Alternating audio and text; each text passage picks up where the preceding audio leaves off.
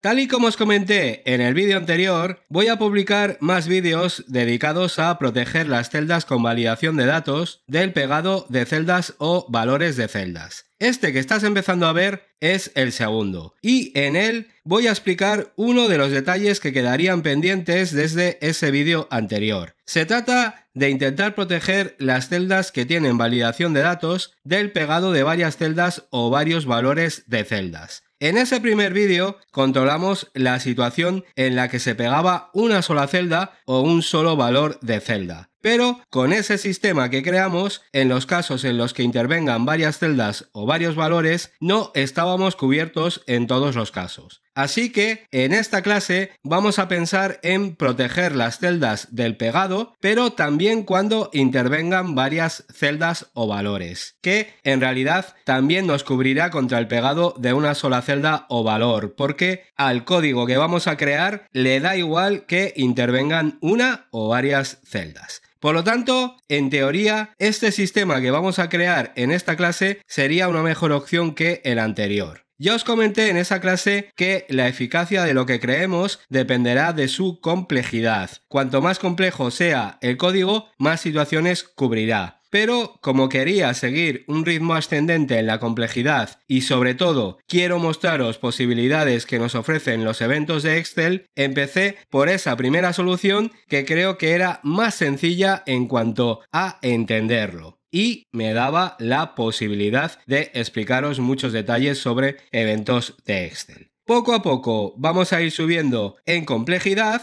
lo que os voy a explicar en esta clase es algo más complejo, pero de nuevo seguirá teniendo situaciones en las que no estaremos cubiertos. En concreto, situaciones en las que nos llegan datos para pegar desde fuera de Excel. Esas situaciones son más complejas y seguramente ahí nos tendríamos que olvidar de la validación de datos de Excel y pasar directamente a una solución totalmente basada en programación. De eso ya os hablaré al final de la clase. Ahora, de momento, vamos a centrarnos en proteger las celdas que tienen validación de datos aplicada del pegado de varias celdas o varios valores de celdas. Bien, para esta clase voy a utilizar el mismo documento inicial de la clase anterior. No voy a utilizar el finalizado porque del código que creamos en esa clase nos olvidamos por completo. En este caso hay que seguir un enfoque diferente, así que si no lo tenéis, lo descargáis. Ahora lo primero que voy a hacer es mostraros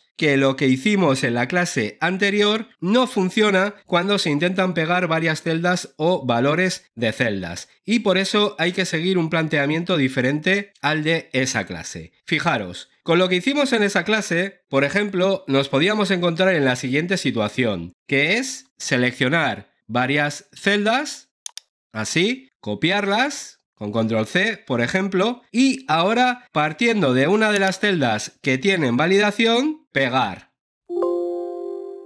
Y si os habéis fijado, lo que ha pasado es que el código parece haber funcionado porque se ha quitado la marca que me indicaba que estaba pendiente de ser pegada la selección de celdas que había hecho y evidentemente si intento pegar, pues no me deja. Por lo tanto, parece que ha funcionado bien. Pero ahora fijaros qué pasa si repito el proceso de copiar varias celdas. Así, por ejemplo, las copio y ahora inicio el pegado de las celdas desde una celda que no tiene validación de datos. Por ejemplo, desde esta. Lo pego y fijaros qué es lo que ha pasado. Evidentemente el pegado pendiente no se ha cancelado y me ha permitido meter aquí un valor que no se corresponde con la validación y estas celdas han perdido la validación de datos. ¿Por qué ha pasado esto? Bueno, pues ha pasado porque el código que hemos diseñado en la clase anterior no tiene en cuenta que al seleccionar el destino donde se va a realizar el pegado, se puedan pegar varias celdas, lo que puede conllevar que en el pegado se acaben utilizando celdas con validación, aunque no las hayamos seleccionado como destino del pegado. El código que creamos en la clase anterior controla solo si la celda que está seleccionada con un pegado pendiente es de las que tiene validación pero no controla si al pegar habrá celdas con validación que se vean afectadas. lo que hace que se puedan dar situaciones como la que os acabo de mostrar. En el primer caso que he realizado, como para pegar me había posicionado en una celda con validación, las condiciones que tenía creadas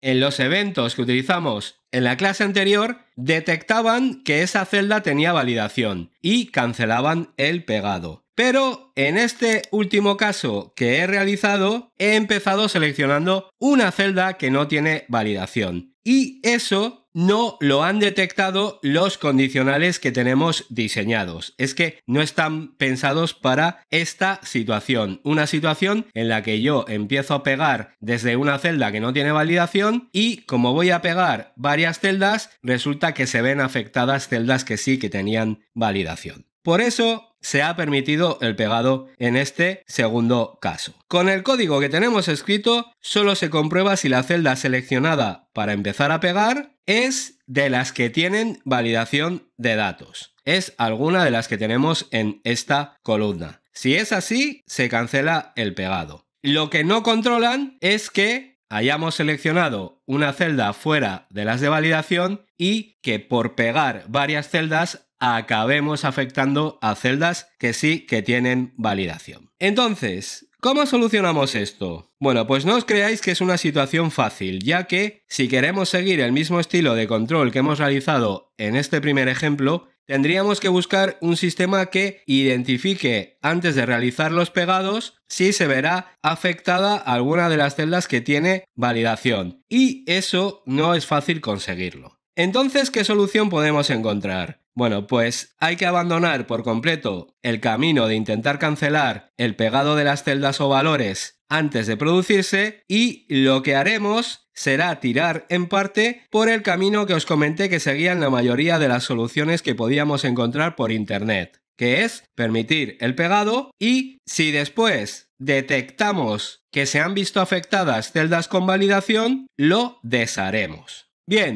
una vez comentado esto, Vuelvo al documento inicial y cómo lo planteamos. Bueno, pues como en este caso ya no estoy hablando de controlar qué celdas están seleccionadas, sino de controlar si después de pegar las celdas o valores de celdas se han visto afectadas algunas de las celdas con validación, nos tenemos que olvidar de los eventos que hemos usado en la clase anterior y tenemos que utilizar uno que se produzca cuando se cambia el valor de una celda, que por suerte lo tenemos. Se trata del evento change de las hojas. Ese evento salta cuando se cambia una o varias celdas y es ahí donde vamos a escribir el código de esta clase. Por lo tanto, lo buscamos en el editor de Visual Basic dentro de la hoja en la que estamos trabajando Primero me aparece el Selection Change, que es el que utilizamos en la clase anterior. Este no me sirve. Aquí tengo que coger el Change, este. Borro el Selection Change. Y ahora aquí vamos a empezar a escribir el código. No es muy largo, pero como hay muchos detalles para contar, voy a ir escribiendo y explicando poco a poco. Empiezo.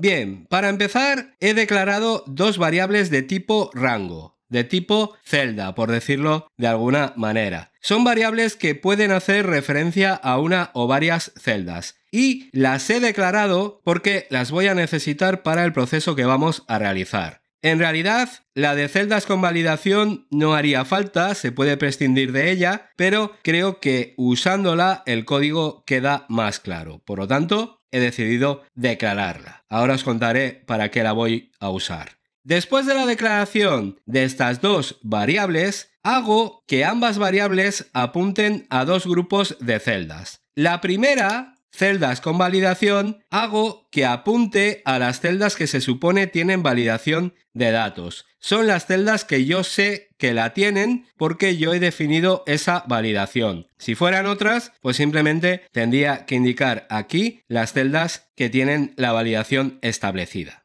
En este caso son todas las celdas de la columna D menos la primera que es la que tiene el título. Por dar más detalles de lo que hacemos aquí, decir que uso la instrucción set que me permite inicializar variables de tipo objeto. En este caso, para que esta variable apunte a estas celdas. Con esta línea, con esta primera, la de la declaración de la variable, simplemente indicábamos que hay una variable de este tipo, del tipo rango. Pero esa variable está vacía. Está, por decirlo de alguna manera, sin celdas. Entonces, lo que faltaría es el paso de indicar a qué celdas debe hacer referencia esta variable. Y eso es lo que hacemos con set. Con set le decimos, oye, esta variable hará referencia a estas celdas. Y desde ese momento podemos utilizar la variable para trabajar con estas celdas, que son, como os digo, las que yo sé que tienen validación de datos. Bien, Después, en la siguiente línea, seguramente hago la parte más importante del proceso que estamos creando, porque lo que hago ahí lo uso después en un condicional para saber si alguna de las celdas que han cambiado se corresponde con alguna de las que tenían la validación. Me explico. Aquí uso una de las operaciones más interesantes que Excel nos permite realizar con celdas, la intersección de celdas. ¿Qué es eso? Bueno, pues una intersección de celdas son las celdas que aparecerían en dos o más rangos. Puedo tener varios rangos diferentes de celdas y que en esos rangos haya celdas que aparecen en todos. Bueno, pues esas celdas comunes a todos los rangos son la intersección de esos rangos. Y en esta línea hago eso, obtengo una intersección. Obtengo la intersección del rango de celdas que tienen validación de datos y las celdas que han cambiado, que recibimos a través del argumento target. Este argumento que ya hemos utilizado en la clase anterior, pero que aquí, en lugar de representar a las celdas que se han seleccionado, representa a las celdas que han cambiado. Con la función intersect de Excel, que recibe argumentos de tipo rango, en este caso 2 pero podría recibir más, lo que hacemos es esa intersección de ambos rangos. Y el resultado de esta función, que serían las celdas coincidentes en ambos rangos, se lo asignamos a la variable llamada celdas coincidentes. Se lo asignamos con otro set. Y con eso ya podemos saber qué celdas estarían en ambos rangos. Y para este caso podemos saber algo mucho mejor. Podemos saber si hay celdas que están en ambos rangos, lo que significará que hemos pegado encima de celdas que no debíamos. Y en ese caso tendremos que deshacer el pegado. Eso es lo que vamos a controlar en las siguientes líneas que vamos a escribir. Lo hago.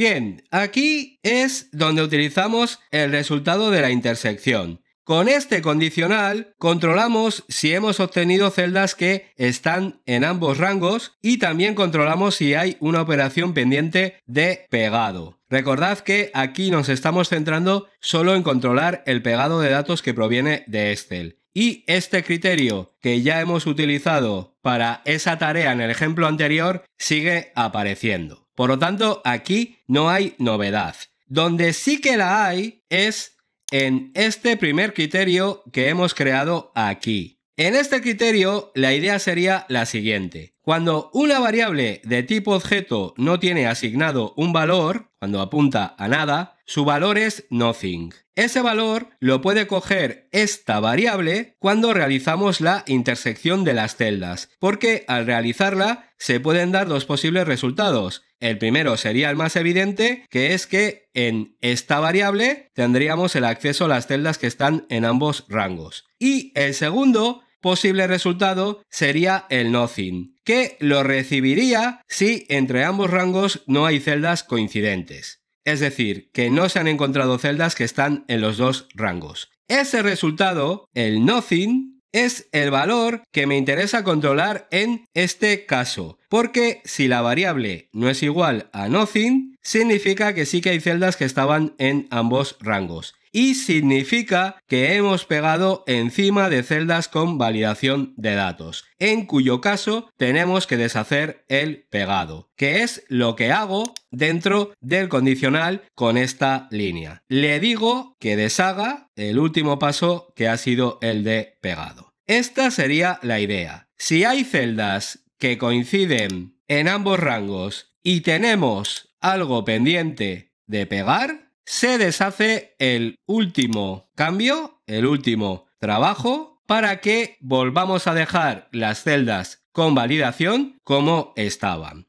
Esto funciona porque hay un detalle importante que no os he comentado. Si por ejemplo tengo algo pendiente de pegar y doy un valor a una celda, si no se da ese valor pegando, el pegado pendiente se cancela. Por lo tanto, no se cumpliría esta parte de aquí. De esa manera, el dar un valor a la celda que no provenga de haber copiado o cortado algo en Excel sí que estaría permitido, porque al no cumplirse esto, se permitiría. Ya os he dicho que esa parte es difícil de controlar. Con este código solo se cancelará el pegado cuando se dé valor a una celda con validación y haya pendiente un pegado, lo que solo se puede dar si hemos dado el valor de la celda pegando, porque si lo hemos dado de otra manera, esto no se cumpliría. Esto reconozco que es un poco jaleo y que seguramente tendréis que asimilarlo con tranquilidad, pero es que el mundo de los objetos y eventos de Excel es así. Bien, antes de probarlo, me faltaría comentar estas dos líneas, esta y esta. Estas líneas aparecen porque debéis tener en cuenta que cuando deshagamos el paso de pegar, volveremos a generar un evento change en la hoja. Y lo que pasaría es que se volvería a ejecutar este código entraríamos en una especie de bucle que no sabemos cómo acabaría. Por lo que antes de deshacer con esta línea, desactivo los eventos de Excel para que el deshacer no provoque eventos change. Y cuando se haga el deshacer, activo de nuevo los eventos para que Excel siga funcionando perfectamente. Con esto ya estaría la explicación del código por completo. Vamos a probar. Me voy a Excel y voy a probar la primera situación. Selecciono varias celdas. Primero voy a escribir algo por aquí, así. Y ahora selecciono varias celdas, las copio, me sitúo en una celda que tiene validación, pego y perfecto. Fijaros, se ha deshecho el pegado y las celdas siguen manteniendo la validación de datos. Por lo tanto, esta primera situación ha funcionado bien. Vamos a probar la que antes nos daba problemas. Mantengo aquí las celdas copiadas y ahora me sitúo en una celda que no tiene validación, pego y perfecto. Esta no tenía validación, pero como hemos detectado que se ha afectado a una celda que sí que la tenía, se ha deshecho la operación. Y estas celdas siguen manteniendo la validación de datos. Por lo tanto, funciona perfectamente. Así ya lo hemos logrado. Si probáis desde otra hoja u otro documento debería funcionar también perfectamente porque al usar el evento change este salta siempre que se cambie una celda y no hay que escribir código en ningún sitio más. Así tenemos menos código que en el ejemplo anterior. Que ahora, hablando de una celda, de que el change salta cuando se cambia una celda, o varias en realidad, me acabo de acordar que también podemos probar a pegar solo una celda para ver si efectivamente el código que hemos creado también controla esa situación, la de una sola celda. Voy a coger esta celda, la copio, la pego aquí y perfecto, se deshace y se mantiene la validación. Por lo tanto, también funciona para el caso de una sola celda. Bien, ahora un par de detalles. Para empezar, quizás sería buena idea meter un aviso para indicar por qué se deshacen los pegados. Si este documento lo va a utilizar otra persona y ve que unas veces le permite pegar y otras no, se va a volver loco. Quizás es mejor mostrarle un aviso. Esto es muy fácil. Entramos al código y añado aquí lo siguiente. Así, simplemente mostramos un mensaje que indique que no se puede pegar sobre celdas con validación. Lo probamos Voy a intentar pegar aquí otra vez. Esta celda está todavía copiada. La pego. Y ahí tenemos el mensaje que aparece después de deshacer la última operación que habíamos realizado. Por lo tanto, esto ya lo tenemos también. Bueno, ahora último detalle, o más bien sería una reflexión. Con esto que hemos hecho, estamos más o menos protegidos para lo que peguemos desde Excel. Pero si pegamos cosas que se copian de fuera de Excel, no lo estaríamos. ¿Qué tendríamos que hacer para eso? Bueno, pues en ese caso yo sería partidario de abandonar la idea de plantear la validación de datos con la validación de Excel y crearía la validación de forma completa con programación utilizando condicionales como el que hemos creado en esta clase, pero evidentemente con diferentes condiciones. Esto yo lo plantearía de esta manera porque la solución va a ser más directa y limpia que andar mezclando las dos cosas. Seguramente tendríamos que simular la validación de ese código y para eso pues lo hacemos todo desde ahí y ya está. Cuando nos metemos con la programación, casi siempre llega un momento en el que tienes que decidir si algo no sería mejor hacerlo íntegramente con código. Bueno, pues este, en mi opinión, sería uno de esos momentos.